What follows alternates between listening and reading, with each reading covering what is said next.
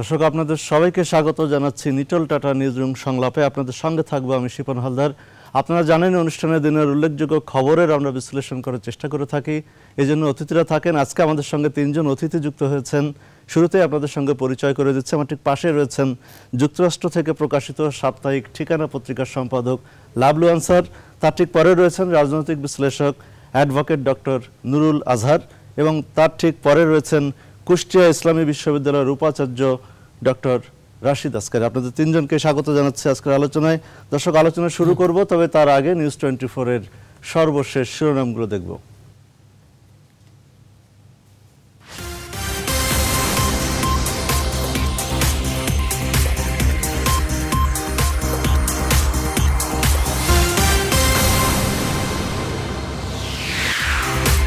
নিম্ন আদালতের নথি আসলেই খালেদা জিয়ার জামিন শুনানির আদেশ। দুর্নীতিকে অনুকম্পা নয় বলছে রাষ্ট্রপক্ষ।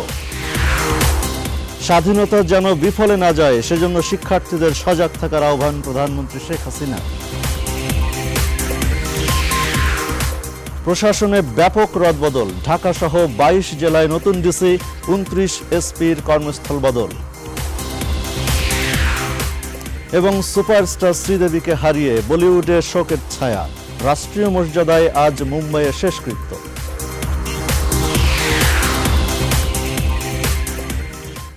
দর্শক নিউজরুম সংলাপের এ পর্যায়ে আমরা শিরোনামগুলো দেখলাম। নিউজ টোয়েন্টি ফোরের সর্বশেষ কী কী শিরোনাম করা হয়েছে? আমরা এ পর্যায়ে আলোচনা শুরু করতে চাই। শুরুতেই ডক্টর রাশিদ আসকারি আপনার কাছে আসব। যে আপনি জানেন যে নিম্ন আদালতের নথি আসার পরেই খালেদা জিয়ার জামিন শুনানির আদেশ দেওয়া হবে এবং আমরা এর আগের টকশোতে আপনি ছিলেন এবং সেখানে বলছিলাম যে আসলে এই মামলাটির ভবিষ্যৎ কোন দিকে যাচ্ছে এবং এই রায়কে কেন্দ্র করে বাংলাদেশের রাজনৈতিক অঙ্গনে যে এক ধরনের উত্তেজনায় বিরাজ করছে এবং বিশেষ করে উনি নির্বাচনে অংশ নিতে পারবেন কি পারবেন না, এটি নিয়ে রাজনৈতিক অঙ্গনে এক ধরনের বাহাসও চলছে দুই পক্ষের মধ্যে, অর্থাৎ আওয়ামী লীগ এবং বিএনপির কেন্দ্রীয় নেতাদের মধ্যে। শেষ পর্যন্ত রাজনীতির এই যে সমীকরণ, এই সমীকরণের দিকে কি পারসেপশন সত্যি হতে যাচ্ছে, নাকি আইন নিজস্ব গতিতে চলছে নাকি রাজনীতিতে একটা নতুন মেরুকরণ হচ্ছে? আমরা কোন কোন দিক বিবেচনা করলে একটি সঠিক জায়গায় পৌঁছাতে পারব? যে আসলে কি হতে যাচ্ছে? আপনাকে ধন্যবাদ।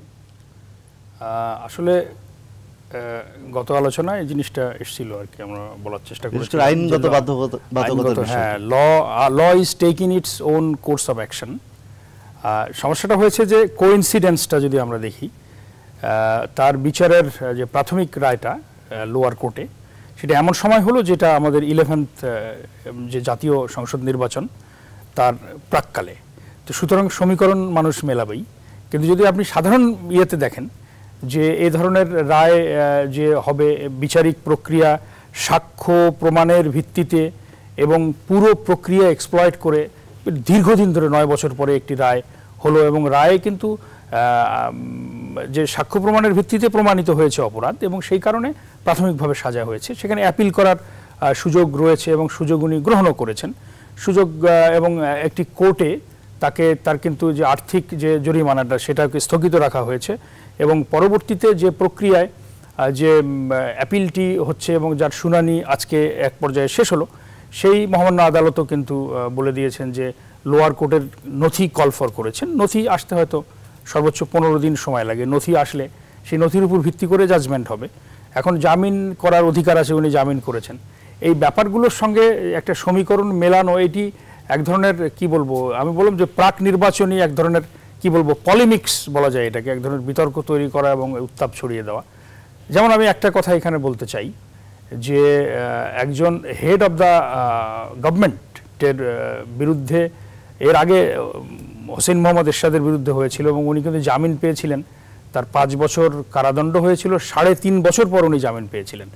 আর ইনি ছিলেন একজন নির্বাচিত প্রধানমন্ত্রী, সেই দিক থেকে তার কেস একটু আলাদা। উনি উনি জামিনের জন্য আবেদন করেছেন। কিন্তু তার চাইতেও ক্ষমতাধর মানুষ কিন্তু ছিলেন আমাদের পার্শ্ববর্তী দেশে রাজীব গান্ধী। আপনার বোফোর্স কেলেঙ্কারির কথা নিশ্চয়ই এখানে সর্তব্য যে বোফোর্স কেলেঙ্কারিতে যখন এটা আলোচনায় আসে এবং এটা আদালত পর্যন্ত গড়ায়, সেখানে রাজীব গান্ধীর মতো কংগ্রেসের একজন নেতা এবং গান্ধী পরিবারের একজন স্বনামধন্য এবং সুযোগ্য উত্তরাধিকার, উনি কিন্তু আইনের চোখে ফাঁকি দিতে পারেন নাই এবং এই উনিশশো উনিশশো সালের নির্বাচনে, উননব্বই, উনআশি উনআশি সালের নির্বাচনে খেসারত দিতে হয়েছে আপনার ইয়েকে, কংগ্রেসকে, এই বোফোর্স কেলেঙ্কারির কারণে। তো সেই ধরনের সমীকরণগুলো মানুষকে, মানুষ মেলাতেই পারে। কিন্তু আমি ব্যক্তিগতভাবে মনে করি যে এই রায়টির মাধ্যমে নানা রকমের আমাদের সীমাবদ্ধতা, নানা রকমের ত্রুটি এবং সীমাবদ্ধতার ভেতরেও এখনও বাংলাদেশে একজন সাবেক সরকার প্রধানও যে আইনের ঊর্ধ্বে নয় এবং আবার একই সঙ্গে উনি যে বিচারের সকল সুযোগ সুবিধা পাচ্ছেন এবং তার যে পক্ষের আইনজীবীরা তারা প্রত্যাশা করছেন যে তার জামিন হবে তার যদি জামিন হয়, তাহলে হয়তো তাদের বিএনপির রাজনৈতিক যে গতি নির্ধারণটা, তারা একভাবে ভাববেন। আর যদি জামিন না হয়, তাহলে হয়তো একভাবে ভাববেন। এরকমের নানান রকমের হিসেব নিকেশ করছে সেটা নিয়ে কোনো ধ্রুব কোনো মন্তব্য করা বা সেটা মনে হয় এখনই ঠিক হবে না। ঠিক হবে না এটা আমার ব্যক্তিগত ডক্টর নুরুল। আজহার আপনার কাছে আসব কিন্তু বলছেন যে এটি রাজনৈতিক উদ্দেশ্যে মামলাটি করা হয়েছে এবং বিএনপি চেয়ারপারসনকে রাজনীতি থেকে দূরে রাখা নির্বাচন থেকে দূরে রাখার একটি ষড়যন্ত্রের অংশ আপনি যদি ওই পারসেপশনের দিক থেকে বলি এবং বর্তমানে আইনের যে গতি ধারা দেখছি এবং আহ, আরও কয়েকটি মামলায় গ্রেপ্তারি পরোয়ানার বিষয়টিও রয়েছে সবকিছু মিলিয়ে এই আগামী দুই, চার, পাঁচ বছরে যে আইনের যে জাল বিস্তৃত করা হচ্ছে, এই জাল থেকে কি বিএনপি বেরিয়ে আসতে পারবে? মোকাবেলা করতে পারবে? কি মনে হচ্ছে একজন আইনজীবী হিসাবে? জি, ধন্যবাদ আপনাকে। এবং টিভির দর্শকবৃন্দকে ধন্যবাদ জানাচ্ছি। আসলে আইন তো তার নিজের গতিতেই চলবে। মামলা যখন হয়েছে, ওনার রাজনৈতিক জীবন, খালেদা জিয়া, ম্যাডাম খালেদা জিয়ার ওনার রাজনৈতিক জীবন ছত্রিশ বছর এবং মামলাও প্রায় ছত্রিশটাই। এবং চলমান মামলা আছে ওনার এখনও মানে রিসেন্ট আর কি চোদ্দোটি শুনানির অপেক্ষায় আছে আর কি। আর খুব কাছাকাছি এই বড় পুকুরিয়া কয়লাখনি আছে গ্যাটকো দুর্নীতি মামলা আছে এগুলি সব মিলাই গ্রেনেড হামলা মামলাও রয়েছে। হ্যাঁ ওই- ওইখানে মামলা আছে প্রায় আঠারোটার মতো এইরকম মিলায় ওনার পঁয়ত্রিশ ছত্রিশটা মামলা টোটাল মামলা আছে আর কি। তো আপনি যদি আইনরে বিশ্বাস করেন উনি অবশ্যই একজন সম্মানিত ব্যক্তি কিন্তু আইন সবার জন্য সমান। আপনি রিসেন্ট একটা দেখবেন পাকিস্তান।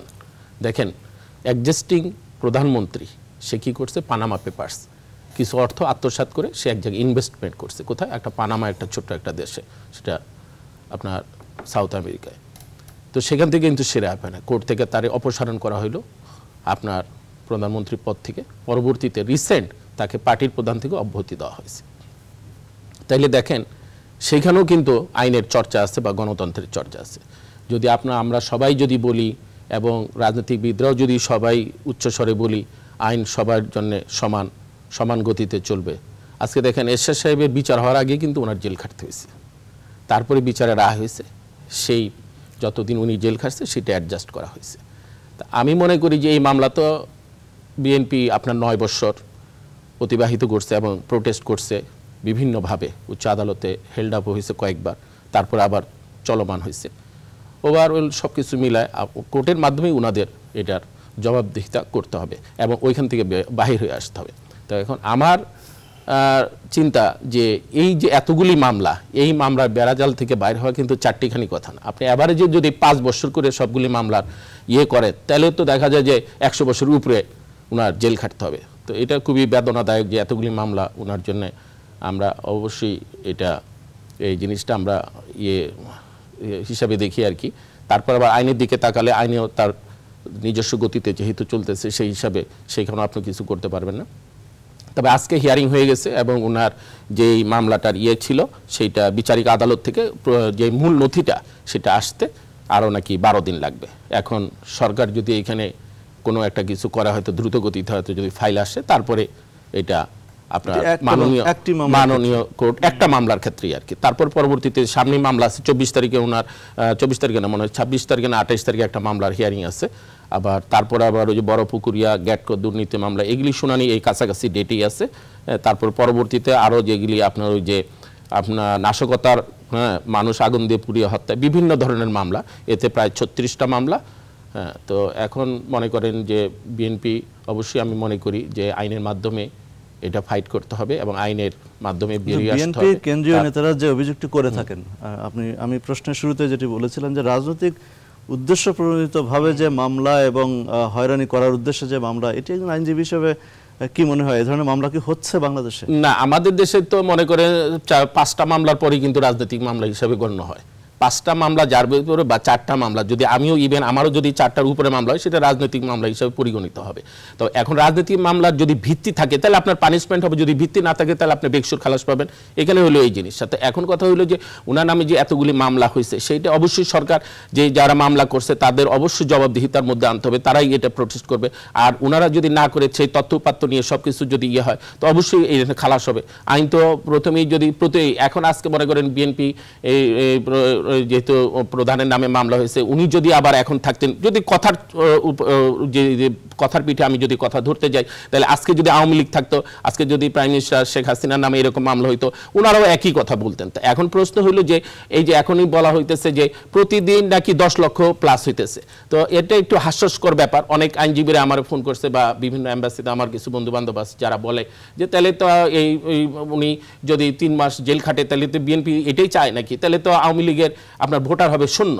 আওয়ামী লীগের তো আর কোনো ভোটার নাই। প্রতিদিন যদি দশ লক্ষ করে মাইনাস হইতে থাকে এটা। তো এগুলি কিছু কৌশল আছে, কিছু পাবলিকরে বোঝানোর জন্য যেটা দরকার সেই সেই জিনিসগুলি আছে। এর পাশাপাশি মনে করেন যে এখনও নির্বাচন বহুদূরে এক পক্ষ বলতেছে নির্বাচনে আমরা যাব না আমাদের আমাদের নেত্রীর ছাড়া এবং এক অংশ বলতেছে যে না, উনা- উনারে আমরা বাহির করে যাব। আবার বলছে যে না আসলে উনি মানে আপনার যদি বেল না পায় বা জাবির না পায় তাহলে আমরা নির্বাচন বর্জন করব। এই যে নির্যা নির্বাচন বর্জন এখন উনারা বলতেছে। কিন্তু তাও সময় আছে এই সময়ের পরিপ্রেক্ষিতে বিভিন্ন ধরনের ঘটনা ঘটবে সেই অপেক্ষায় আমাদের এখন থাকতে হবে। গতিবিধি পাল্টাবে সময়ের সাথে সাথে। লাভলান স্যার আপনি মার্কিন যুক্তরাষ্ট্রে আছেন সাপ্তাহিক ঠিকানা পত্রিকা দীর্ঘদিন ধরে সম্পাদনা করছেন। আপনার চোখে বাংলাদেশের রাজনীতি অর্থাৎ আপনি মার্কিন যুক্তরাষ্ট্রের রাজনীতির গুণগত বিষয়টি দেখেন, আমরা যে বিষয়টি নিয়ে আলোচনা করছি, যে রাজনৈতিক মামলা, হয়রানি, এই যে বেড়াজালের যে প্রক্রিয়াটা এক পক্ষ আর এক পক্ষকে কুপকাত করার যে এক ধরনের চেষ্টা এবং আপনার দৃষ্টিতে বাংলাদেশের রাজনীতিতে যে ঘটনা পরম্পরাগুলো ঘটছে, আগামী নির্বাচন এবং বর্তমান চলমান যে রাজনীতি, আপনার কাছে কি মনে হচ্ছে? দেখুন প্রবাসে থেকে, বিশেষ করে যুক্তরাষ্ট্রের মতো জায়গায় থেকে আমি একটা বিষয় খেয়াল করেছি এবার বেগম খালেদা জিয়ার বিরুদ্ধে রায় প্রদানের পর তার দলের লোকজন, বিএনপির যারা যুক্তরাষ্ট্রে আছে, তাদের পক্ষ থেকেও আগের মতো ওই রকম কোনো তীব্র প্রতিবাদ কিংবা কঠোর কোনো মন্তব্য আসে নাই। যেভাবে ঢাকা থেকেও যায় নাই, কেন্দ্রীয় মহাসচিবের পক্ষ থেকেও যায় নাই, তাদের পক্ষ থেকেও আসে নাই। এটা একটা বাংলাদেশের রাজনীতির যে হাল হকিকত, সেক্ষেত্রে অবশ্যই একটা ইতিবাচক দিক বলে আমি মনে করি।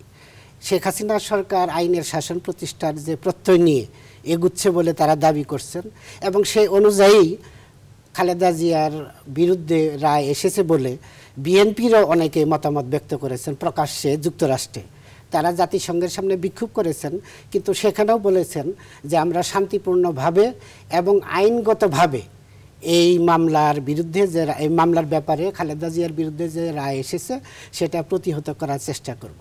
অর্থাৎ তাদের মধ্যে একটা মনোভাব অন্যভাবে জেগে উঠেছে যে আগের মতো ভাঙচুর অগ্নি সন্ত্রাস ইত্যাদির পন্থা অবলম্বন করলে বাংলাদেশ যে গতিতে যাচ্ছে, বাংলাদেশের মানুষ যেভাবে এখন সমর্থন দিচ্ছে বর্তমান সরকারকে, সেটা থেকে দূরে রাখা যাবে না এবং বিএনপিকে আবারও জনপ্রিয় রাজনৈতিক দলে পরিণত করা কঠিন হয়ে পড়তে পারে। সেই জন্য তারা এটা খুবই একটা ইতিবাচক দিক বলে প্রবাসীরা এটা বলা বলি করছেন প্রকাশের দলমত নির্বিশেষে, যে বিএনপির এই ভূমিকাটা এখন পর্যন্ত ভালো। তারা এখনও ধ্বংসাত্মক কোনো কর্মকাণ্ড কিংবা কর্মসূচি ঘোষণা করে নাই। আর যুক্তরাষ্ট্রের প্রেক্ষিতে আপনি জানেন, যুক্তরাষ্ট্রে আরেকটা বিষয় আমি বলি যে বাংলাদেশে এই যে প্রধানমন্ত্রীকে সাবেক প্রধানমন্ত্রীকে দুর্নীতির জন্য কারাগারে নেওয়া, জেল দেওয়া, এটাও একটা ভালো দিক আইনের শাসনের ক্ষেত্রে ভবিষ্যতের জন্য। তার কারণ এখন তিনি তো দুর্দণ্ড প্রতাপশালী একজন প্রধানমন্ত্রী ছিলেন এবং তিনবার যেভাবেই হোক তিনবার, তিনবারের প্রধানমন্ত্রী। তারপরেও তাকে জেলে যেতে হয়েছে দুর্নীতির জন্য। এখন যারা ক্ষমতাসীন আছেন কিংবা ভবিষ্যতে যারা আসবেন, তাদের মধ্যে এই বিষয়টা অবশ্যই প্রভাব ফেলবে বলে আমরা মনে করি এবং প্রবাসে সবাই মনে করে যে এটা খুবই ভালো একটা দৃষ্টান্ত হয়ে থাকবে। এর আগে যেমনটি ওনারা বললেন, হুসেন মোহাম্মদ এরশাদ সাহেবকে জেল দেওয়া হয়েছিল। সেই বিষয়ের পরে কিন্তু যারা ক্ষমতায় এসেছেন, হুসেন মোহাম্মদ এরশাদের বিদায়ের পর। তাদের মধ্যে কিন্তু ওই প্রভাবটা কেউ দেখেনি বিশেষ করে প্রবাসীরা দেখে নাই, তাদের সব সময় একটা একই ধরনের অভিযোগ।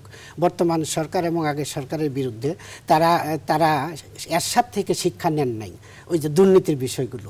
তবে এখন বেগম খালেদা জিয়া যেহেতু কারাগারে গেছেন, জেল হয়েছে এবং তিনি রায়কে মেনে নিয়েছেন বলেই আপিলের পন্থা অবলম্বন করেছেন, সুতরাং ভবিষ্যতে এর একটি অবশ্যই ইতিবাচক প্রভাব আসবে বাংলাদেশের রাজনীতিতে এবং প্রশাসনিক দুর্নীতি এবং অপকর্ম প্রতিরোধ করতে।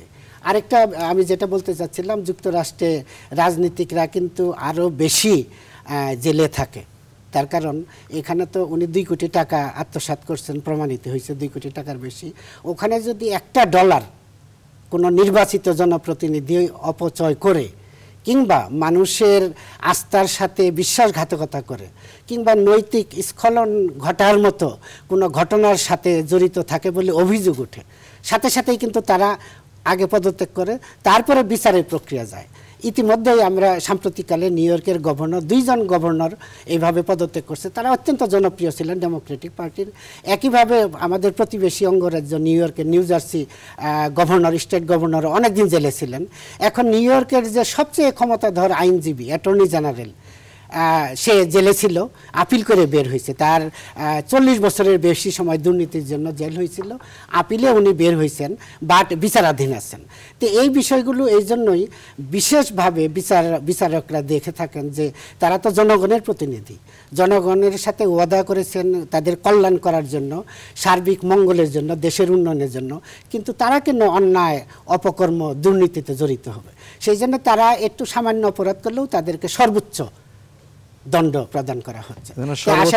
চর্চা সেখানে হ্যাঁ, দেখা হয়। একটু আমরা একটু বিরতি নিতে চাই। হ্যাঁ। অনুমতি দিলে বিরতি নিয়েই বাদ বাকি আচ্ছা, আলোচনা করব করব আচ্ছা, আমরা। আচ্ছা, দর্শক নিটল টাটা নিউজ রুম সংলাপের এ পর্যায়ে একটি বিরতি নিচ্ছি। বিরতির পর বাদ বাকি আলোচনা করব। আমাদের সঙ্গে থাকবেন।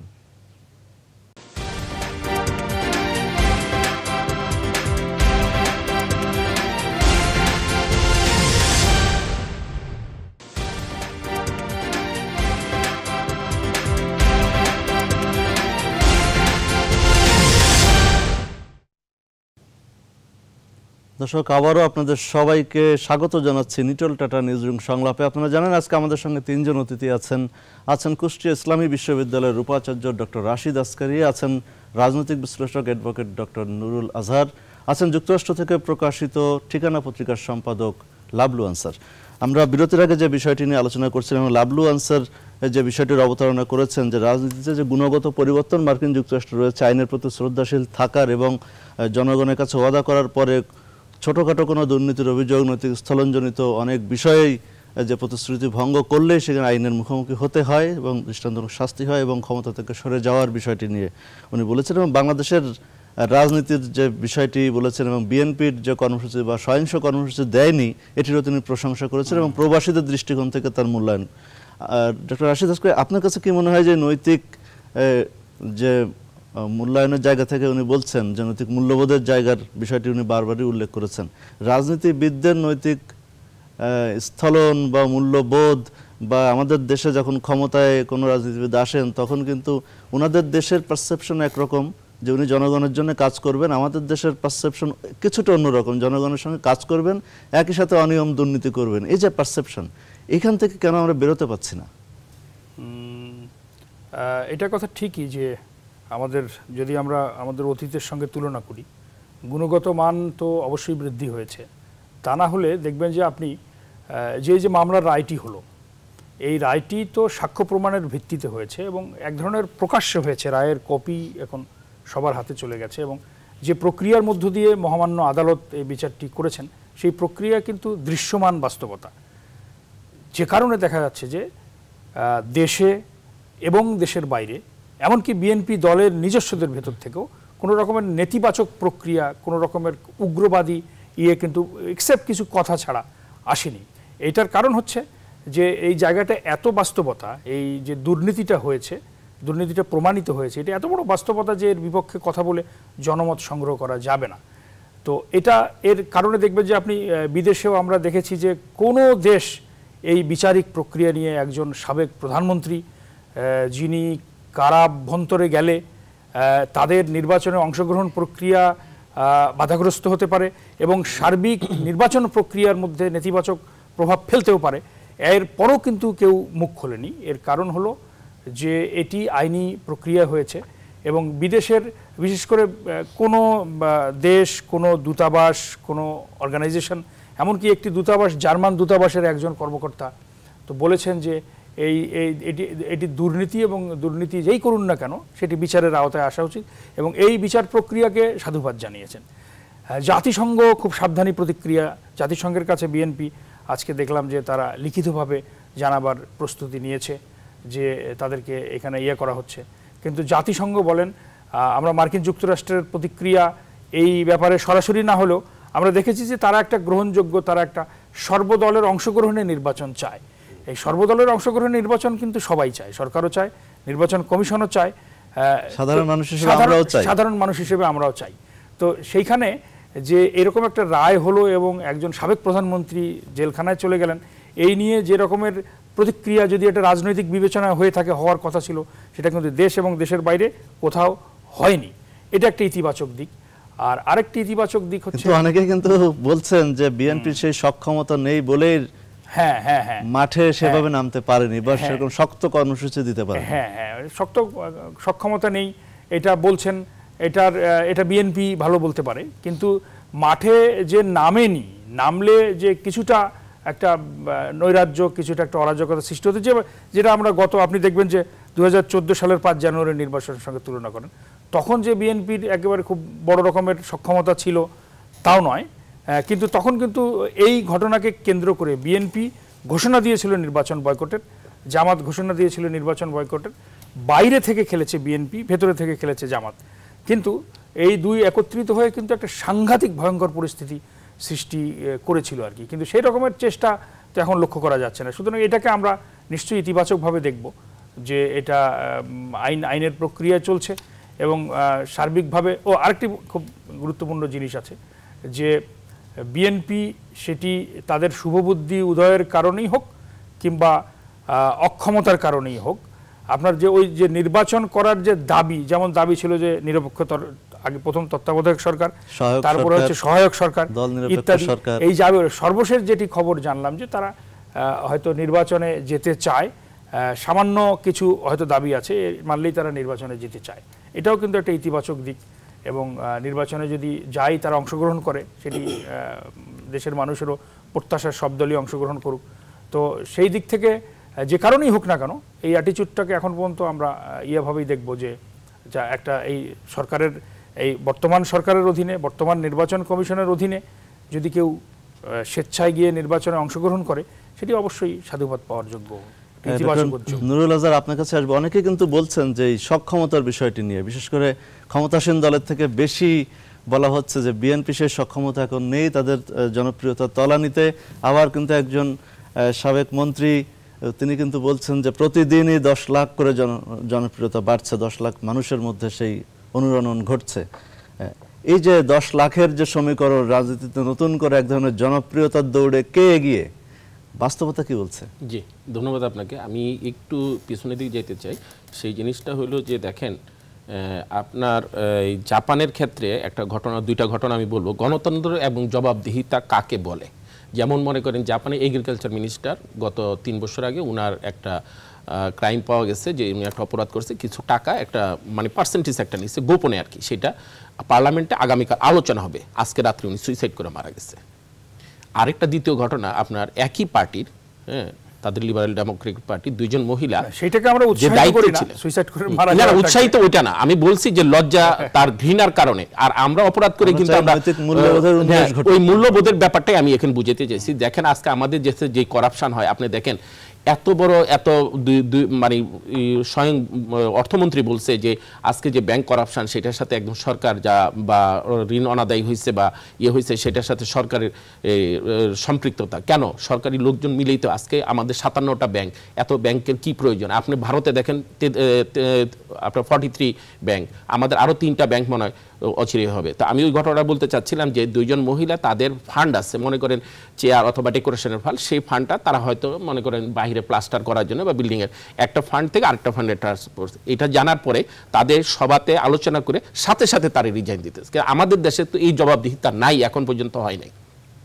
আস্তে আস্তে আমার মনে এগিয়ে যাচ্ছে। আর আপনি যেই জিনিসটা বললেন যে ওই যে দশ লক্ষ ভোট এটা ওনার আমার মনে হয় উনি রাজনৈতিক বক্তব্য দিচ্ছে। আপনি অবশ্যই বিএনপি থার্টি পার্সেন্ট ভোট এখনও আছে এবং কিছু হলেও ভোটটা বাড়ছে এই পরিস্থিতিতে। কারণ যারা অনেকেই জানে না ঘটনা সেটা একে বিএনপি গেলে জনপ্রিয়তা বাড়ে। জি জি জি কারাগারে গেলে জনপ্রিয়তা বাড়ে প্লাস অপরাধ করে নাই ইয়ে করে এখন অপরাধ করে নাই। তো আইনের সাজা হয়েছে। আইনের মাধ্যমে আইনে ফেস করে আপনার আবার সাজা মৌকুব করে আপনার বেরিয়ে আসতে হবে।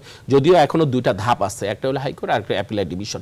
এখনও বলা যাবে না উনি। এখনও আইনে স্পষ্ট আছে যতক্ষণ অপরাধী ব্যক্তিও যতক্ষণ আইন দ্বারা উনি অপরাধী সাব্যস্ত না হবে ততক্ষণ পর্যন্ত উনি নিরপরাধ। এটা হলো আইনের মানে ভাষ্য সেই হিসেবে সংরক্ষিত রয়েছে। হ্যাঁ জি জি। সেই সেই হিসেবে আপনার অপেক্ষা করতে হবে এবং আমাদের ধারণা যে এতগুলি মামলা এই মামলাগুলি আপনি তর্কের খাতিরে বলি। মনে করেন খালেদা জিয়া প্রাইম মিনিস্টার ছিলেন উনি কিছুই করেন না কিন্তু এর মামলার বোঝার কারণে যেভাবে হোক মামলাগুলি হয়েছে ওয়ান ইলেভেনের সময় কিছু হয়েছে তারপরে যখন উনি যে কর্মসূচি দিলেন, তখন জ্বালা, পোড়া, ভাঙচুর এগুলির উপরে কিছুটা হয়েছে এগুলি ওভারঅল মিলায়, এই মামলাগুলি ফেস করাও কিন্তু মানে দুই চার দশ বছরের ব্যাপার না আরও বেশি হওয়ার কথা। একটা মামলা যদি নয় বছরে যায়, তা আপনি গড়ে অ্যাভারেজে যদি দশ বছর করে ধরেন, তাহলে তো ওনার তিনশো ষাট বছর যাওয়ার কথা। তো আয়ু কি উনি এতদিন পাবে?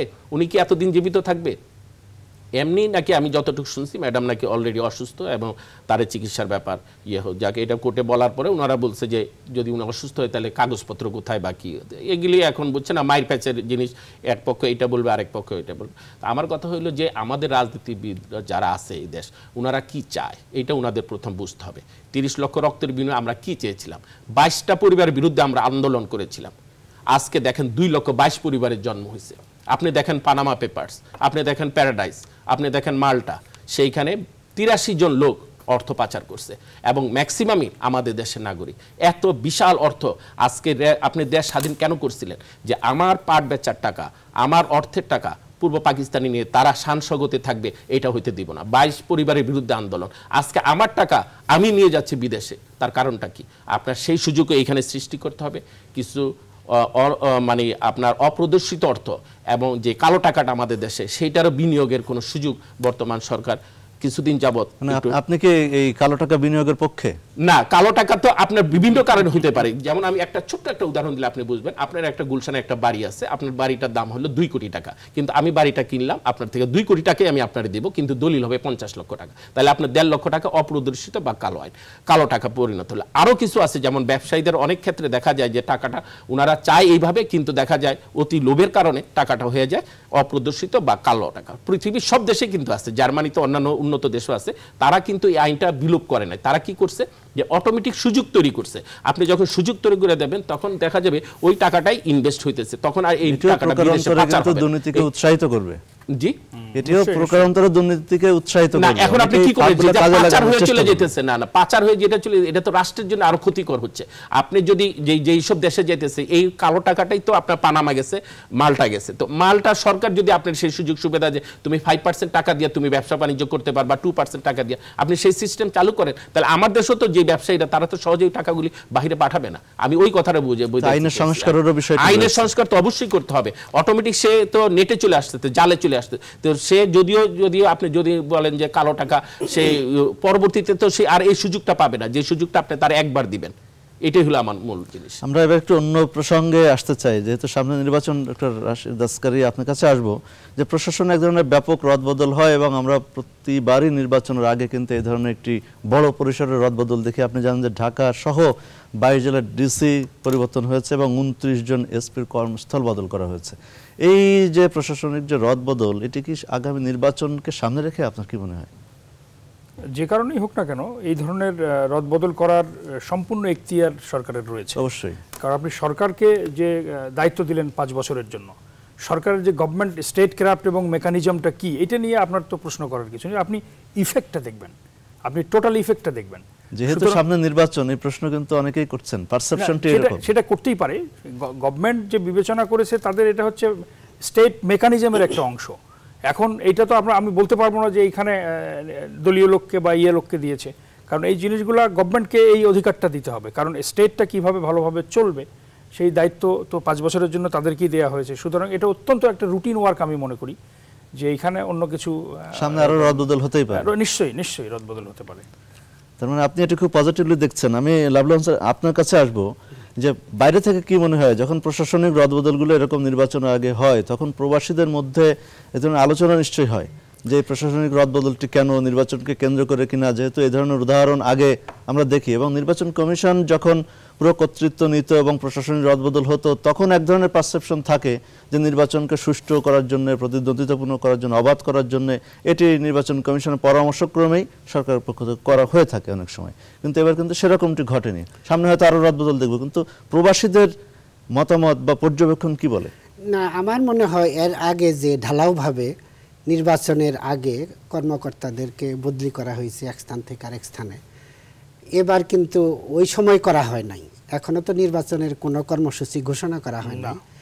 তফসিল কোনো কিছুই করা হয় নাই। সুতরাং এখন কিন্তু ওই বিষয়টা তেমনভাবে আসছে না। আগে যেভাবে আসতো ইলেকশনের এক মাস আগে হঠাৎ করে দেখা গেল সামনে হয়তো সরিয়ে দিচ্ছে। প্রতিপক্ষ বা বিরোধী দল থেকে দাবি করা হবে। হ্যাঁ হয়তো সরকার বেশি সচেতন এবং মিডিয়ার কারণে অনেক কিছুই তো এখন আগের মতো করা সম্ভব হয় না, এমন তো হইতে পারে সরকার দেখছে যে এই বিরোধী দল বা বিএনপি অংশগ্রহণ করবে এর আগেই বদল করে দিলাম।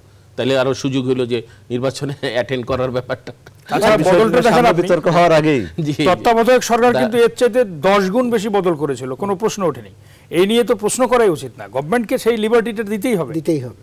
এটা তো গোজ উইদাউট সেইং এইসব এইসব বিষয়ে প্রবাসীদের মধ্যে এখন প্রভাব ফেলার, কথা প্রবাসীরা আশা করছে সর্বান্তকরণে এবং আমিও ব্যক্তিগতভাবে মার্কিন কংগ্রেসের কয়েকজন কংগ্রেসম্যানের সাথে আমার কথা হয়েছে, বেগম খালেদা জিয়া জেলে যাওয়ার পরেও। তারা একইভাবে বেগম খালেদা জিয়ার মুক্তির ব্যাপারে ওই প্রবাসের বিএনপি তারা চেষ্টা করেছে স্মারকলিপি দিয়ে তাদেরকে কনভিন্স করতে, কিন্তু তারা সেগুলিকে সেভাবে গ্রহণ করে নাই। এক বাক্যে বলে দিছে, যেমনটি জাতিসংঘ বলছে যে এটা বাংলাদেশের আইনের ব্যাপার। আইনের মাধ্যমে ওনাকেই করছে। তোমরা এখন দেখো আইন সঠিকভাবে তার বিরুদ্ধে গেছে কিনা। যদি না গিয়ে থাকে, তোমরা উচ্চ আদালতে আপিল করো। বিকজ ওই যারা বাংলাদেশ নিয়ে কাজ করে কংগ্রেশনাল ককাস তারা বাংলাদেশের ব্যাপারে আমাদের চেয়েও বেশি ওয়াকেভাল যে কোনোভাবেই হোক। সুতরাং তারা এক বাক্যে তাদেরকে এইভাবে বলে দিচ্ছে আর এইসব ইয়ের ব্যাপারে আরেকটা বিষয় বলছে, ওই যে ওরা ওরা এখনও বাইরে থেকে চেষ্টা করতেছে যে এই সরকারকে মানে বিশেষ করে শেখ হাসিনা যাতে দায়িত্বে না থাকে। তাকে বাদ দিয়ে যে কাউকে দিয়ে নির্বাচন হোক, এটা নিয়ে তারা ভিতরে ভিতরে। এখানে যেমন প্রকাশ্যে বলছে জাতিসংঘের কাছে দরখাস্ত দিবে আজকে অথবা কালকে, ওখানেও ইতিমধ্যেই একটা প্যাকেজ বিএনপির পক্ষ থেকে স্টেট ডিপার্টমেন্ট এবং জাতিসংঘ মহাসচিবকে দেওয়া হয়েছে গত সপ্তাহে। তারা আনুষ্ঠানিকভাবেই দিছে প্রতিনিধির মাধ্যমে। সেখানে তারা এই কথাটা বলছে যে এখন তাদের শেষ দাবি হলো বেগম খালেদা জিয়ার ব্যাপারে তারা আইনগত লড়াই করবে, এটা তারা বলছে। আর দ্বিতীয় হলো যে শেখ হাসিনা কে প্রধানমন্ত্রী রেখে নির্বাচন হলে সেটা সুষ্ঠু হবে না বলে তারা ক্লেম করতেছে বিভিন্ন জায়গায়। বাট এখন পর্যন্ত তারা কোনো ইতিবাচক পায়নি। পায় নাই বাট তাদের বলেননি। তারা অব্যাহত। তারা শেখ হাসিনার নেতৃত্বে নির্বাচন করতেও তাদের একাংশের আগ্রহ রয়েছে যে তাদের একজন উপ প্রধানমন্ত্রী নির্দলীয় দিয়ে। কিন্তু এখন তারা বুঝেছেন যে এখন কোনো অবস্থাতে আপনাকে সাংবিধানিক বাধ্যবাধকতা বা যে কোনো কারণেই হোক না কেন আপনি আপনি একটা অন্য- একটা অসাংবিধানিক সরকার কীভাবে নিয়ে আসবেন? তাকে তার আন্ডারে করবেন। সুতরাং এটা কিন্তু সাংবিধানিক বাধ্যবাধকতার মধ্য দিয়েই হচ্ছে। সুতরাং এইখান থেকে একজন উপপ্রধান মন্ত্রী নির্দলীয় নিয়ে এসে এই রকমের কথা তাদের অনেকে ভাবছে আর কি। এটা তারা তাদের জায়গা থেকে অনেক সরে আসছে আর কি। ডক্টর নুরুল আজহার আপনার কাছে আসব। আমরা কিন্তু সবকিছুর মধ্যে এক ধরনের রাজনৈতিক উদ্দেশ্য খুঁজে ফিরি। আমরা রাজনীতিকে বেশি ভালোবাসি বলেই কিনা আমরা জানি না। কিন্তু এই যে প্রশাসনিক রদবদলের বিষয়টি একজন আইনজীবী হিসেবে আপনার কাছে কি মনে হচ্ছে? এটা কি কোনো রাজনৈতিক উদ্দেশ্য থাকতে পারে এটা- রুটিন এটা রুটিন ওয়ার্ক দেখেন ট্যাক্স ডিপার্টমেন্টও কিছু চেঞ্জ হয়েছে কিছুদিন আগে। হয়তো এইভাবে ফলো করে আসে না যেহেতু ডিসি এবং এসপি ব্যাপারটা খুব গুরুত্বপূর্ণ পদ এবং যেটা রাজনীতির সাথেও সম্পৃক্ত কারণ কিছু সমস্যা হলে পুলিশ যেতে হয় তারপরে ডিসির ইয়ে লাগে। তারপরে ভ্যাট কাস্টমস এখানে রদবদল হয়েছে হইছে হয়েছে এটা প্রমোশনের ব্যাপার থাকতে পারে আবার দেখা গেল এটা রদবদল হলে খুব স্বচ্ছতা থাকে এটা। কেন থাকে? আমি গতকালকে আমি আমাদের একটা এজিএমএসএল ঢাকা ট্যাক্স বারে সেখানে আমি বলছিলাম যে এই ট্যাক্স ডিপার্টমেন্টে যারা আছে তারা কিন্তু ঢাকার থেকে সহজে কোনো জায়গায় ট্রান্সফার হয় না। তিন বছর পর তাদের এখান থেকে ট্রান্সফার করতে কারণ তাদের কারণে দেখা যায় সঠিক রাজস্ব আসতেছে না। অনেক দালাল ফরিয়া এবং কিছু স্টাফের আমি সবাইকে বলব না কিছু কারণে দেখা যায় যে সরকারি যে প্রকৃত রাজস্ব যেটা পাওয়া সেই জিনিসটা পাইতেছে না। তো এইগুলি আমি মনে করি এই- সময়টাতে অনিয়মে জড়িয়ে। নির্বাচন এখনও অনেক দেরি। আর সেই হিসাবে আমি মনে করি যে এটা কোনো ইয়ে এটা এখনই এখনই আমরা কোনো রাজনৈতিক উদ্দেশ্য জি, জি, দেখছি না এটা একেবারে এটা খুঁজতেই পারে এটা মনে করেন এক পক্ষ খুঁজবে আরেক পক্ষ কিন্তু আমার আমি মনে করি আমরা একটা বিরতিতে যেতে চাই আবারও। বিরতির পর আমরা রোহিঙ্গা ইস্যু এবং প্রশ্নপত্র ফাঁসের বিষয়টি নিয়ে একটু সংক্ষিপ্ত আলোচনা করার চেষ্টা করব। দর্শক নিটল টাটা নিউজ রুম সংলাপের এরপর যে আরেকটি বিরতি নিচ্ছি। ফিরব শিগগিরই আমাদের সঙ্গে থাকবেন।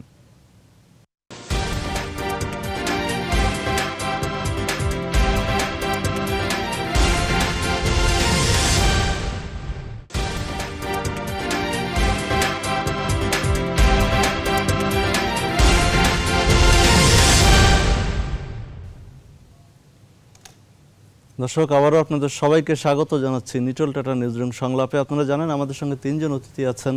আছেন কুষ্টিয়া ইসলামী বিশ্ববিদ্যালয়ের উপাচার্য ডক্টর রাশিদ আসকারী, রাজনৈতিক বিশ্লেষক, অ্যাডভোকেট ডক্টর নুরুল আজহার এবং যুক্তরাষ্ট্র থেকে প্রকাশিত সাপ্তাহিক ঠিকানা পত্রিকার সম্পাদক লাবলু আনসার।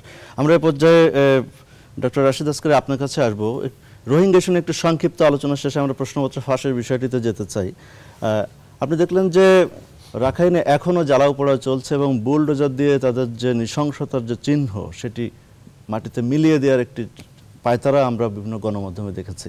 যখন প্রক্রিয়া চলছে তাদের ফেরত পাঠানোর এবং তখন বলা হচ্ছে যে শূন্য সীমারেখা থেকে অর্থাৎ নোম্যান্স ল্যান্ডে যারা অবস্থান করছে, কেবলমাত্র তাদেরকে প্রাথমিক পর্যায়ে নিয়ে যাওয়া হবে।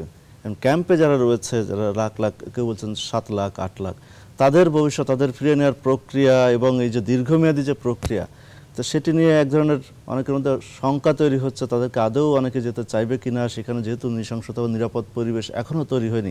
এই বাস্তবতায় সরকারের কি করণীয় একটু গঠনমূলকভাবে আমরা আলোচনা করতে চাই। এটা it goes with that saying যে the Rohingyas are the most persecuted people in the world এটা ইউনাইটেড নেশনসের উপলব্ধি। এবং এটার একটা ইতিবাচক দিক হলো যে এখন কিন্তু বিশ্ব জনমত একটা সৃষ্টি হয়েছে। যেটা শুরুর দিকে ছিল না, নানা বার্ডস অ্যান্ড ইপসের ব্যাপারগুলো ছিল। কিন্তু এখন মোটামুটি একটা বিশ্ব জনমত গড়ে উঠেছে যে তাদের পারজিকিউশনটা সত্য, তাদের উপরে নির্যাতন, নিপীড়ন চলমান রয়েছে, এটি সত্য এবং তাদেরকে প্রত্যাবর্ষণ করে তাদেরকে মিয়ানমারে রাখাইনে ফিরে নিয়ে গিয়ে তাদের একটা স্বতন্ত্র রাখাইনে তাদের নিরাপদ এবং তাদের একটা অটোনমাস একটা এলাকা তাদের সুরক্ষা দেওয়ার জন্য করার ব্যাপারে একটা জনমত। সেফ জোন করার একটা কিন্তু জনমত গড়ে উঠেছে। এটা একটা ইতিবাচক দিক। কিন্তু কার্যত দেখা যাচ্ছে যে মিয়ানমার বিশেষ করে মিয়ানমার গভর্নমেন্টের মানে প্রিচিং এবং প্র্যাকটিসের মধ্যে সেই রকমের সমন্বয় দেখা যাচ্ছে না। কয়েকদিন আগেও সপ্তাহ দুয়েক আগেও একজন ঊর্ধ্বতন মন্ত্রী বলেছিলেন যে প্রক্রিয়া শেষ আমাদের এক দুই সপ্তাহের মধ্যেই এই প্রত্যাবাসন প্রক্রিয়া শুরু হবে। কিন্তু কার্যত দেখছি যে শুরু হবে কিন্তু শুরু হওয়ার ব্যাপারটাও কিন্তু আবার প্রশ্নবিদ্ধ হয় এইভাবে, যে আপনি শুরু করলেন, আবারও জোর করে তাদেরকে সেখানে নিয়ে যাচ্ছেন, কিন্তু সেই জোনটি তাদের জন্য সেফ এখনও করা হয়েছে কি না তারা তারা whether they feel at home in Rakhine সেই ব্যাপারটা পুরোপুরি করা হয়েছে কিনা, সেই ধরনের কিন্তু ভেরিফিকেশনটা এখনও হয়নি। তো সুতরাং সেই ব্যাপারটা, প্রশ্নটা রয়েই গেছে।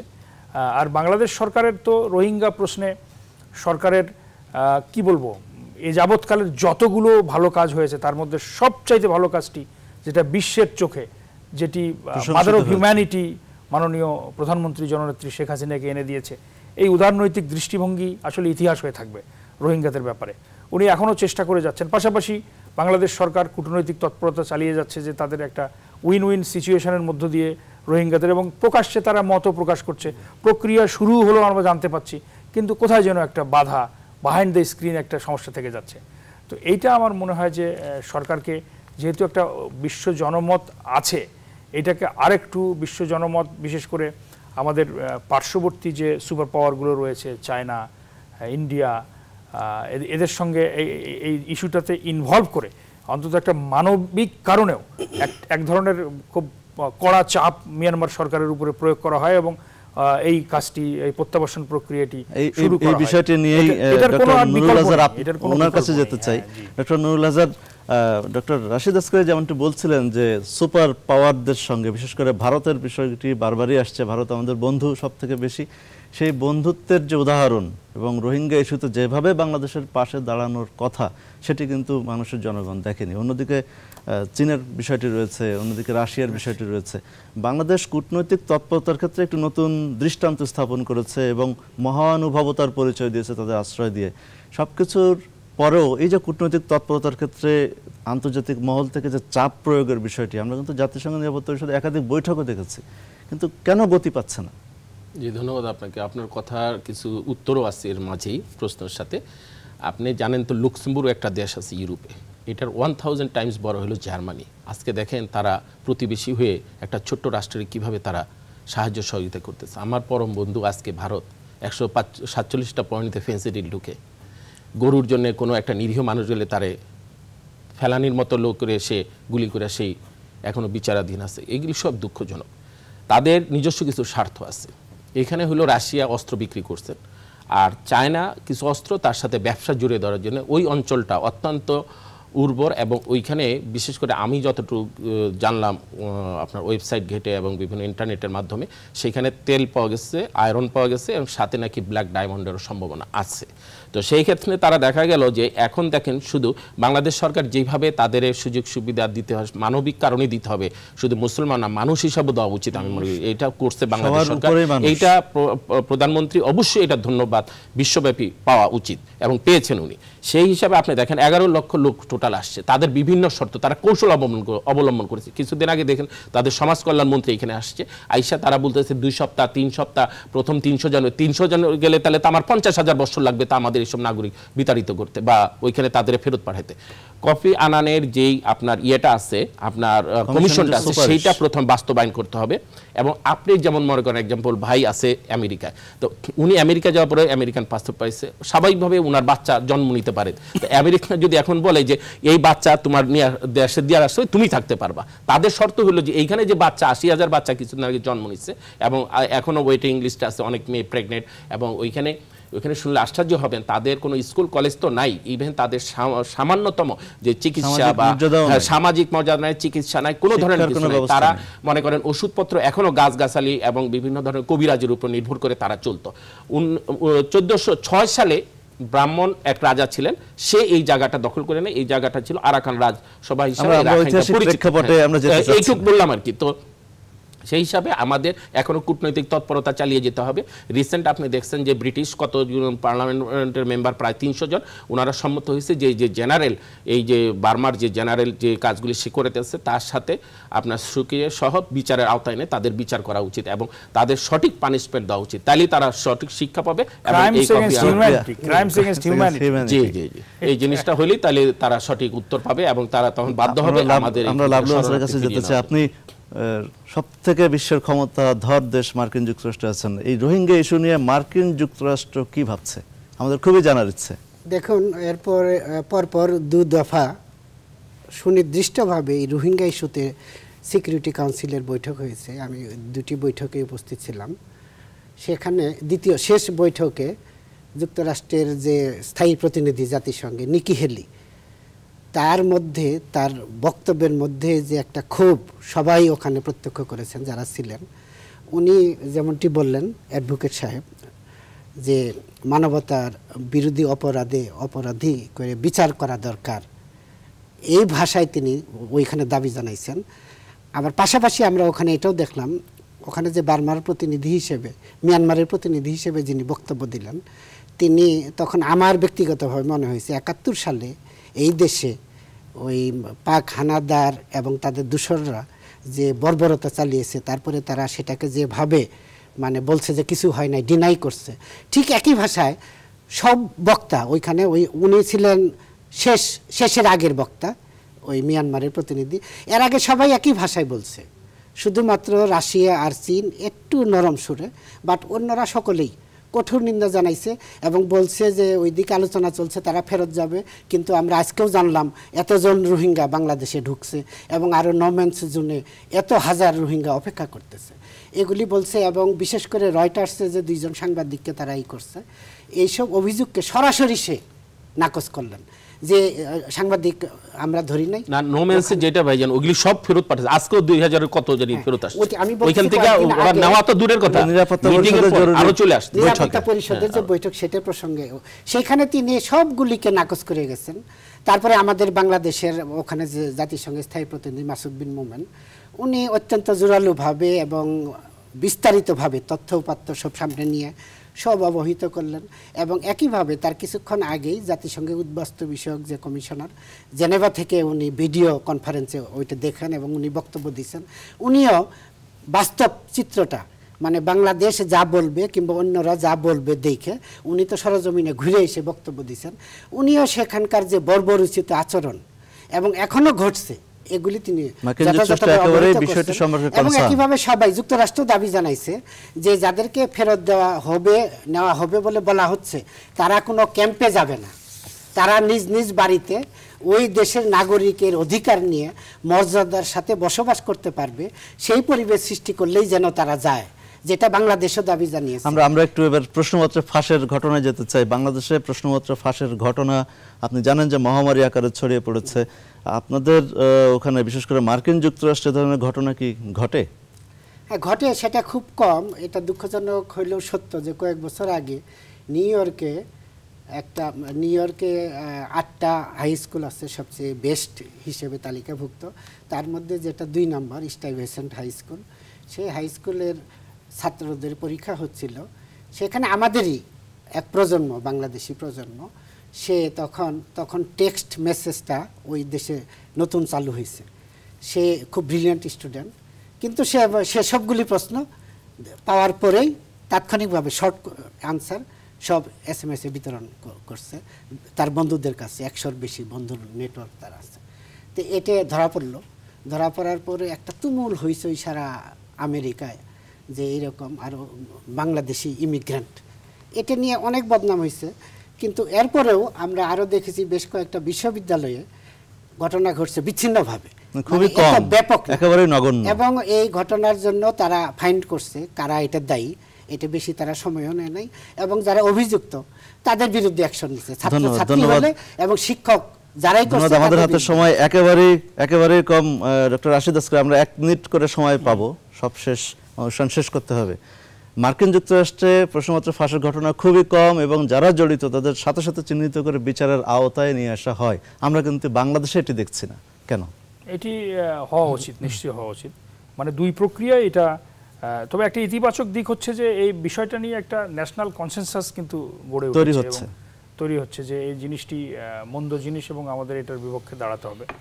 এবং আমার মনে হয় যে কিছু চেঞ্জ আমরা লক্ষ্য করছি কিংবা আরও হয়তো করব। এক হলো যে অপরাধের সঙ্গে জড়িতদের দৃষ্টান্তমূলক শাস্তি। আর এক হচ্ছে পদ্ধতিটি ইনভালনারেবল করতে হবে। হ্যাঁ পদ্ধতিটি এমন করতে হবে যেটা করে। সেই ব্যাপারেও আমার মনে হয় যে ব্যাপক সরকার কাজ করছে। ব্রেন স্টর্মিং হচ্ছে আর কি। হোপফুলি ইন নিয়ার ফিউচার আমরা দেখব যে আমরা একটা ইনভালনারেবল পদ্ধতি আবিষ্কার ধন্যবাদ। ধন্যবাদ আপনাকে ডক্টর নুরুল হাজার আমরা বিচারহীনতার সংস্কৃতির কথা বলি যার সর্বশেষ উদাহরণ আমরা দেখলাম প্রশ্নমত ফাঁসি ঘটে আমরা কি এই বিচারহীনতার সংস্কৃতি দেখতে চাই নাকি আমরা বিচারিক ব্যবস্থার আওতায় যারা জড়িত, তাদেরকে দৃষ্টান্তমূলক শাস্তির আওতায় দেখতে কি কি করণীয়? অবশ্যই আমরা দৃষ্টান্তমূলক শাস্তি, তার সাথে আইনটা আরেকটু পরিবর্তন কঠোর আইনে পরিণত করব। কারণ আমরা তো এই দেশটা এমনি পাই না, মাগনা পাই না। আমরা তো পাইছি কি? রক্তের বিনিময় পাইছি। আমাদের কি আশা, আকাঙ্ক্ষা ছিল যে আমরা একটা সুন্দর দেশ পাবো, গণতন্ত্র পাবো, একটা সুন্দর সমাজ পাবো, একটা রাষ্ট্র পাবো একটা পতাকার ল্যান্ড সব কিছুই তো আমরা পাইছি। পাওয়ার পরে এখন কিছু বিচ্ছিন্ন যে ঘটনা, এটা যদি সরকার কঠোর হয়, আমি মনে করি একদম ইজি এটা।